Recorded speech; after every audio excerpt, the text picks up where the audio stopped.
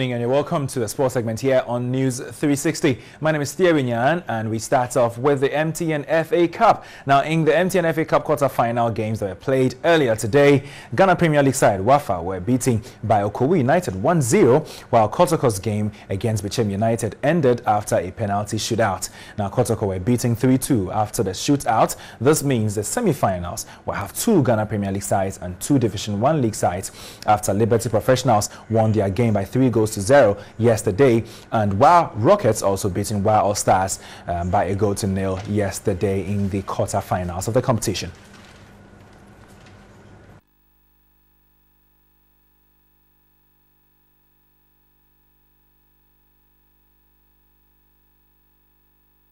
The maiden edition of the ECOWAS Best Fighter Kickboxing Championship slated uh, from 24 June to 25 June 2016 at the Lizzy Sports Complex in Accra.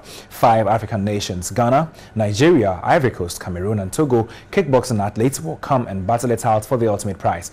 Now the president of the West African Kickboxing Federation Zone 2, Parfait Dukru, and the president of the Ghana Kickboxing Federation, Ni Adotejata, assured readiness for the upcoming event. The best sport. We use karate, martial art, like uh, leg. So kickboxing is punch and leg. We organized the first event of uh, ECOWAS in uh, Ghana. Lizzy Sport, exactly. We use Ghana because we want to show people that Ghana is one of the peaceful country in West Africa. Okay? To show, to encourage Ghana people that keeping the peace is good. This is why we are coming, because there's peace here. So we bring all the fighters in Ghana to say this is the country which is where we can get peace. This is to encourage the athlete, because when you practice a sport and uh, there is no, uh, no, no support is difficult.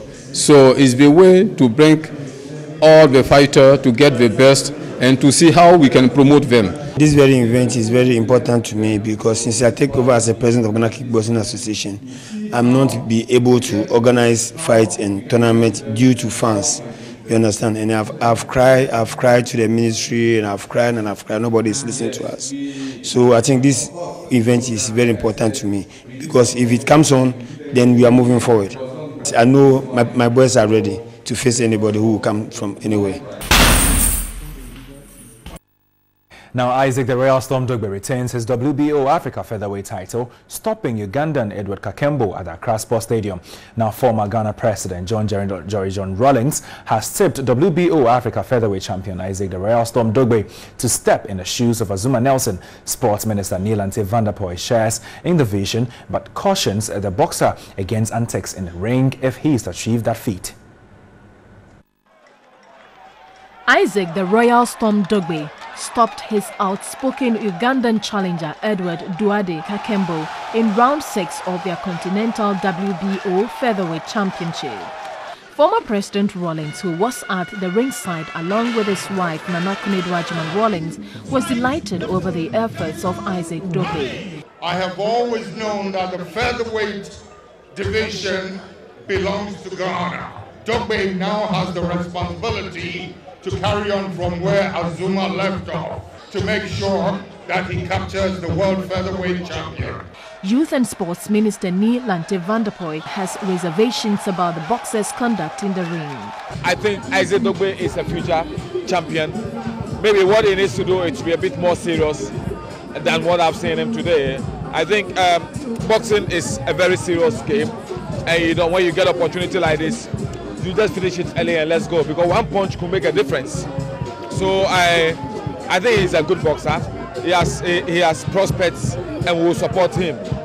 Uh, I've known him since his days in amateur, and I'm not surprised with the support he's had. He will definitely go places. Both enthusiasts called for support for the boxer in order to get him the heights. So that's all for sports with me, Thierry Nyan here. But remember, for more sports news, you can tune in and stay tuned to TV3.